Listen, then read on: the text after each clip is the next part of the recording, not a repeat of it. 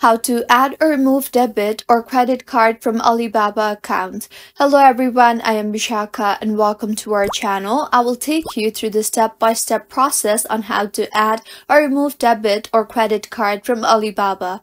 Now let's get started.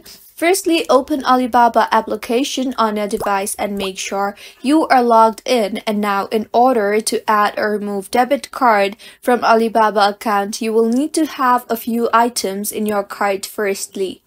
So go ahead and shop and add few items to your cart. Simply select the item you want to purchase and then select the size, color, and quantity.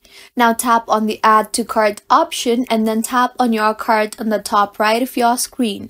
Now select the items you want to go ahead and proceed with and then tap on the Checkout option. In the interface that you will be led to, add in your shipping address firstly and make the necessary changes in here and finally tap on the Submit button. You will now be led to the payment page. Here tap on the credit or debit card option and then tap on the continue button. Now go ahead and enter your card details to add your card and just in case if you have already added a card to your Alibaba account and want to add a new card then tap on the use a new card option and enter your card details. You will need to enter your card number, expiration date and CVV.